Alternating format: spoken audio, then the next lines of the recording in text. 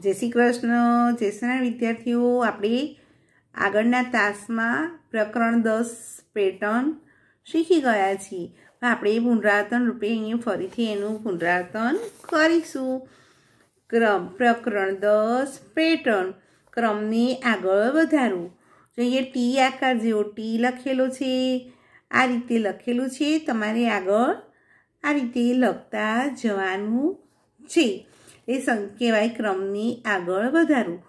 આ સીધો, ઊંધો, સીધો એ રીતે તમારે અહીંયાથી જોઈ અને કઈ રીતે લખાય છે, ક્રમમાં આવે છે, એ રીતે તમારે લખવાનું છે.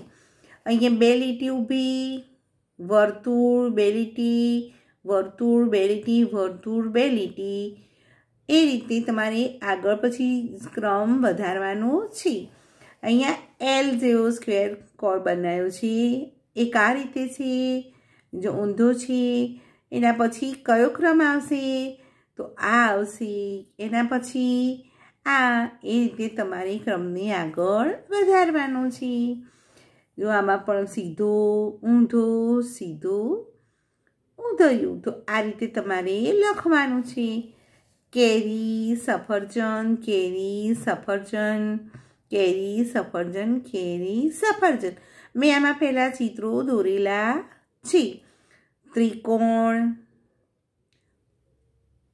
લંબચોરસ, ત્રિકોણ, ચોરસ સોરી ત્રિકોણ, ચોરસ ત્રિકોણ, ચોરસ.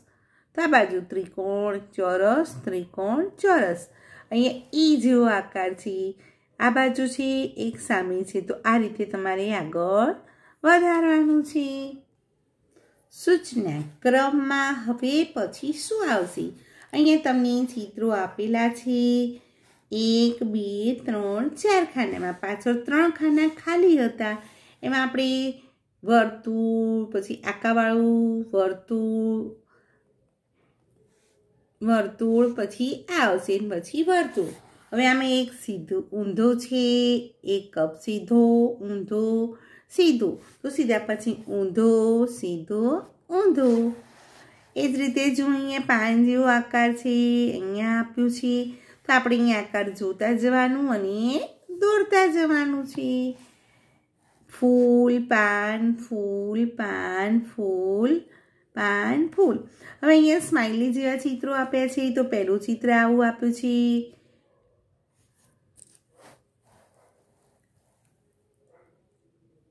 તો આ રીતે તમારે પછી અહીંયા જોવાનું કે આના પછી સૌથી પહેલું કયું આવશે? આ.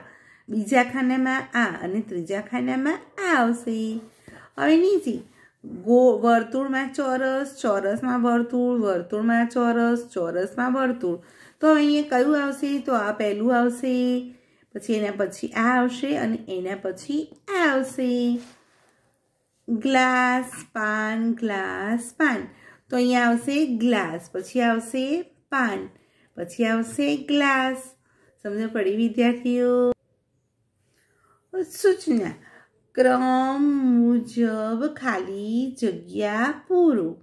અહીંયા તમે એક, ત્રણ, પાંચ, સાત.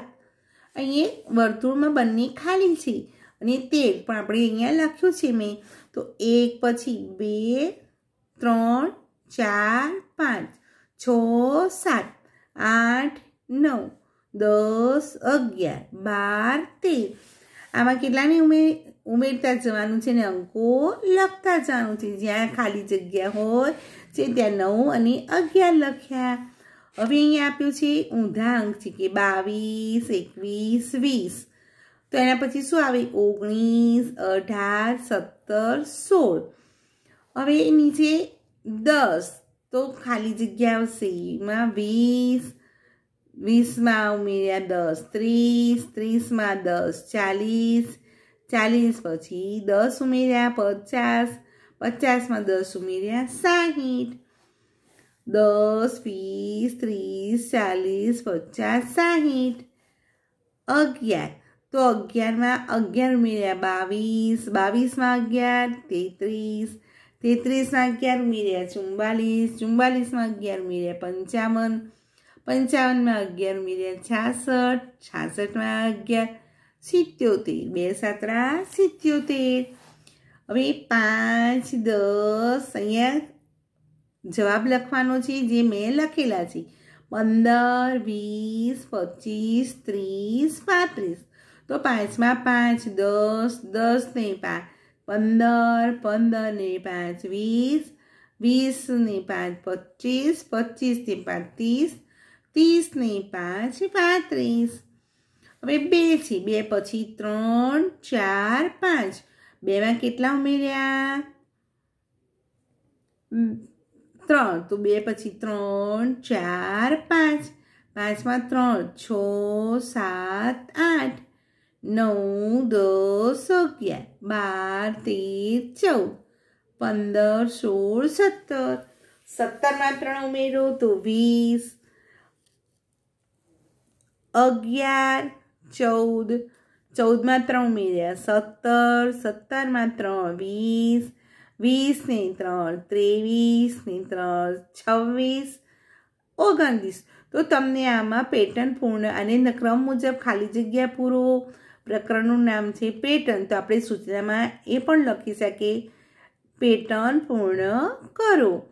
અથવા ક્રમ મુજબ ખાલી જગ્યા પૂરો. તો આપણને આપ્યું છે એ જોવા જે ખાલી જગ્યા હોય એમાં આપણે ગણવાનું અને જવાબ લખવાનો છે.